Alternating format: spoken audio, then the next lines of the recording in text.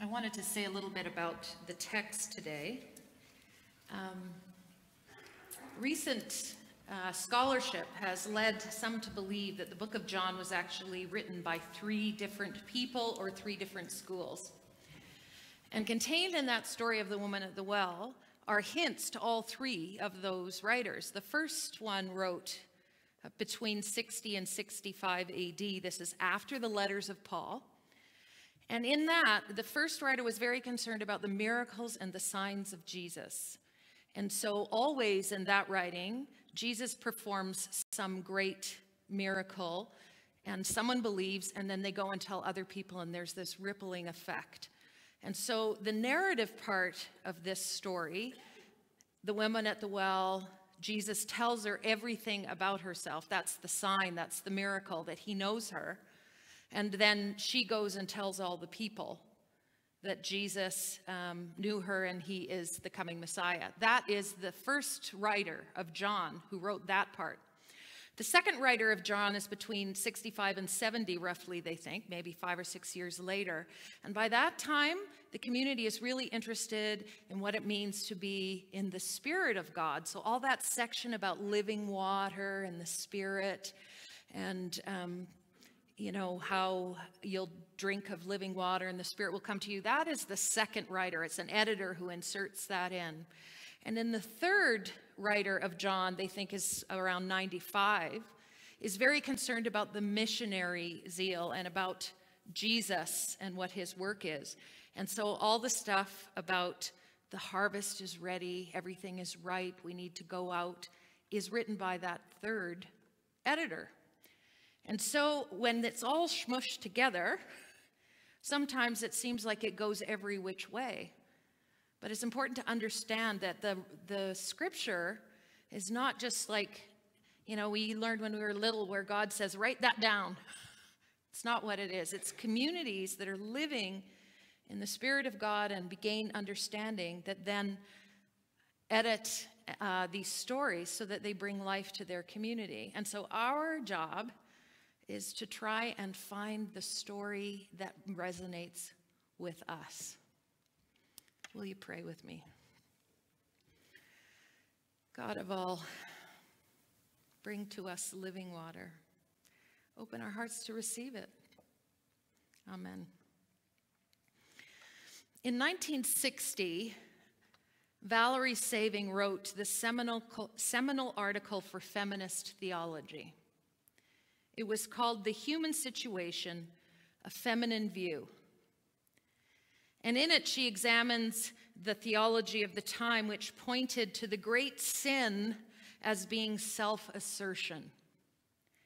It's much like the temptations that we were talking about last week, the motivators, the temptation to pursue power or money or glory in an unhealthy way, so that we fall into sin, if you want to say that. It's not surprising that that self assertion was considered the sin of the age because theologians in the 50s and 60s were in this time after World War II where the world was engaged in a kind of technological arms race. And so, as they were trying to learn and understand more and control nature and each other, theologians were arguing that the human condition was essentially one of isolation and disconnectedness. And in this space where we're isolated from each other and disconnected from nature, we live in anxiety. It makes us anxious. And so, this idea of self assertion is this attempt to overcome this sense of anxiety at our own isolation by conquering, conquering the environment and using it for our own ends. And self assertion kind of basks in your own power. And it determines what is good according to the self. And it acquires knowledge for the sake of promoting yourself. And so, to theologians in that last century, these are the great temptations of our times. These are the sins with which we live. And then they argued that the healing for this sin is love because love is self giving. And love seeks only the good of others. And love doesn't judge, and it's not based on merit or reward because love is unconditional forgiveness. It bears all things, it believes all things, it hopes and endures all things. It's personal. When you love someone, you treat them as a child of God. And this kind of love answers those deepest needs of humanity. It's the answer to anxiety and this self assertion. To try and become God, really, is what self assertion is, that are at the core of the sins of humanity. That's what the theologians were arguing. And Valerie Saiving, she begins to feel uncomfortable with these ideas of the human condition and sin and redemption as they are being articulated. And she increasingly found that her own struggles in her life were kind of at odds of, with those that were put forward by male counterparts who were most of the theologians at the time. And she begins to wonder if, as a woman, she might be differently situated. Maybe she had different struggles. Maybe she experienced life in different ways and therefore sought a different kind of redemption. And so she considers anthropologists and what they're saying about humanity and the differences in uh, gender roles. And the first thing she notes is that in every single culture, women, and only women, bear children. And I guess we all could have figured that out. Cross cultures, women are the ones who bear children. But what this leads to is another norm of cultures that women in every society then form the closest relationships with infants, with children. And this means that this relationship becomes foundational for both masculine and feminine identities. Is our first relationship for most of us, almost all of us, is with our mothers. But obviously, for boys, to become true men, at least according to a culture, this early identification with their mothers must be overcome in some way because he must become something different than his mother. And self assertion is the means by which this is accomplished. And so, for boys and men, at least back in 1960, life becomes this process of becoming something. But girls, on the other hand, according to Saiving, need only to grow up to become a woman. And they see themselves in their mothers from the very beginning, and they don't need to push back against her early learning. And thus, according to Saiving, a woman's life is more a process of just being instead of becoming, and just waiting for nature to take its course. And this inevitably leads to the question of whether you're going to have children, which of course isn't possible for some women. And it's a path that's not taken by others. And that's true. But she says that women are shaped to think of themselves as mothers and nurturers in a relational way instead of individual ways. And then if she has children, she learns that if the child is to survive, that her own needs have to be suppressed, and sometimes you get lost in this. And so, Saiving says that the temptations for a woman are not pride or will to power as they are for men, but rather the temptation is the underdevelopment or the negation of the self because women tend to surrender their individual concerns and to give up their own agency in favor of that of her partner or her children. And in the process, she gets lost in these relationships without asserting her own needs. Now, obviously, a lot has changed since 1960. I mean, I just have to look to my own relationship to know that there is much more um, equals sharing of work and parenting of by both fathers and mothers, or fathers and fathers and mothers and mothers. A lot has changed. She even noted that culture was becoming what she said more feminized. But today, women and men are integrating this self giving and this self assertion. But as International Women's Day reminds us, in many cultures, these role, these gender role expectations are firmly asserted and defended. And in too many cases, women are not given opportunities for self expression. And I think the temptation in our own culture is not to take the opportunities for self expression. Because I know even from my own life, with all the opportunities for education, I mean, I have three degrees, really. I've been to school. I'd go again if, uh, if it paid, but opportunities for education and self advancement and self promotion are open to women. But even so, I always struggle with the balance between those things that I want for myself and my role as a mother. And I don't think we are yet free of these cultural expectations, and maybe we shouldn't be. But the irony of these gender role stereotypes that seem to trap women in traditional roles is that they also trap men and all those with other gender identities. This binary way of living makes us all fit into little boxes.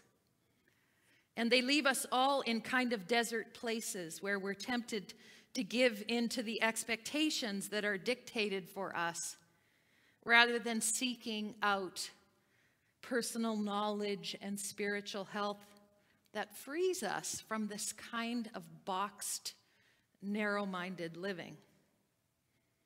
And so in today's reading, we're confronted with a woman who is truly defined by her culture.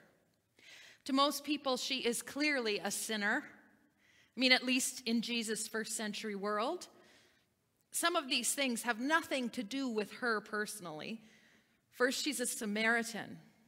Samaritans had mixed blood because they had intermarried with the Assyrians over the centuries.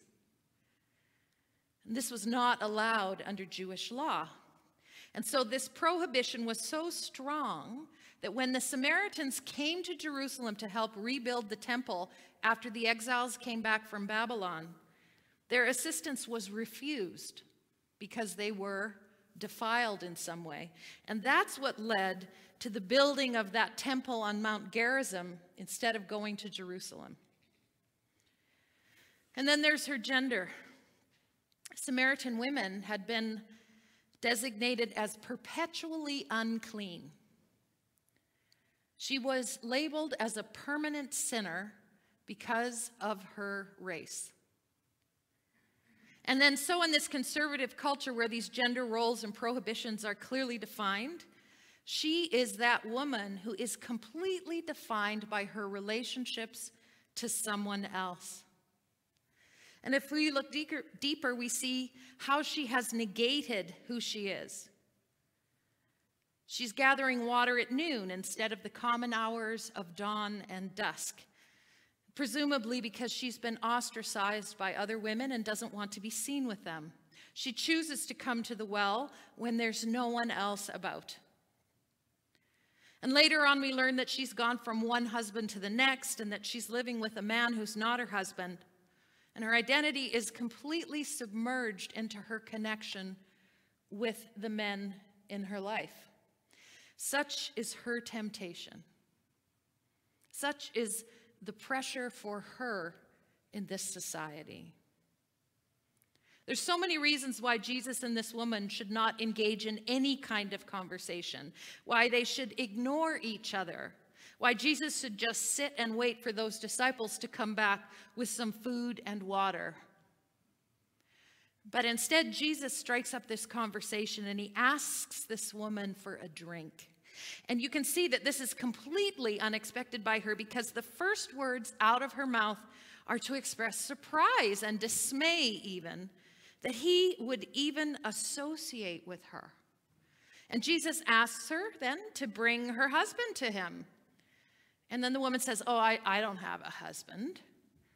And this is a quick response. And I think maybe she's trying to avoid the subject of her life. But Jesus says to her, Come on now.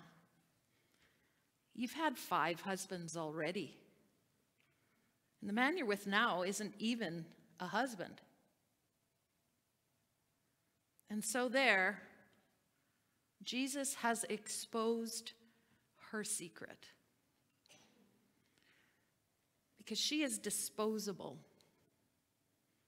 she's desperate.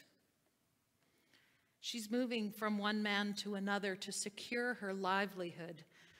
And this is something for which she is ashamed because she is nothing in herself.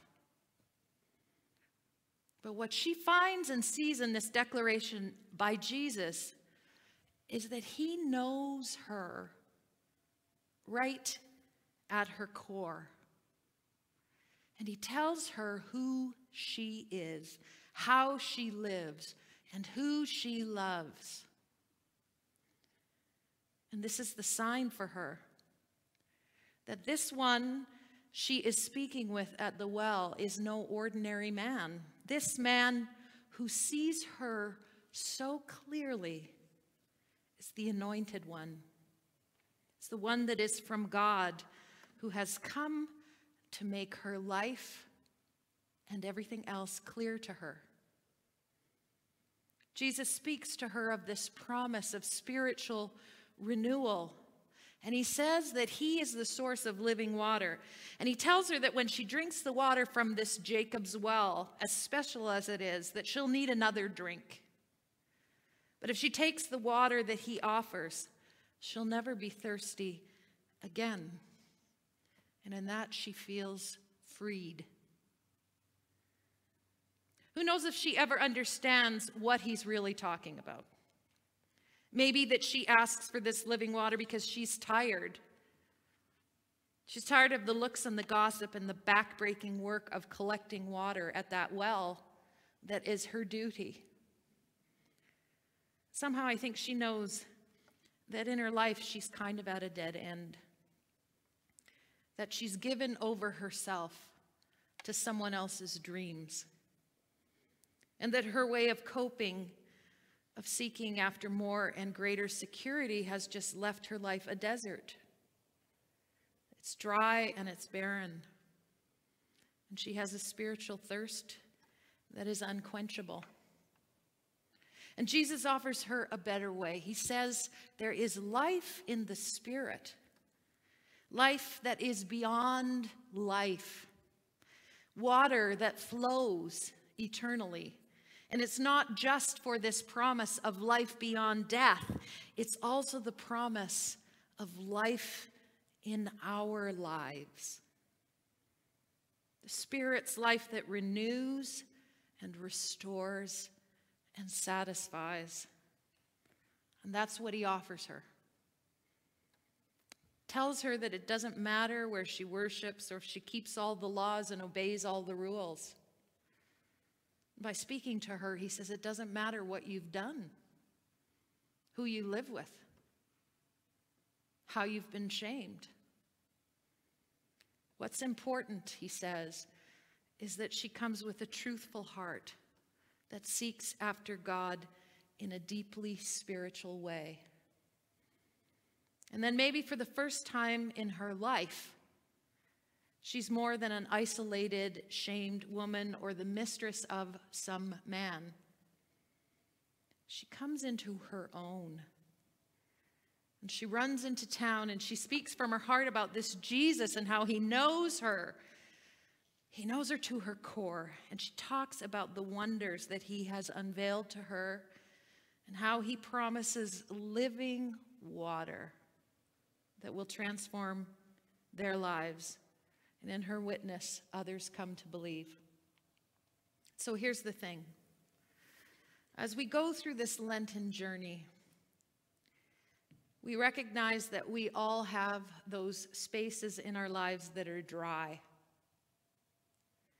And whether we try to cover them up by asserting ourselves and becoming like God, so that our importance is amplified, Or we try to submerge our anxiety into our relationships with others so that we live vicariously and avoid all that hard work of finding out who we truly are.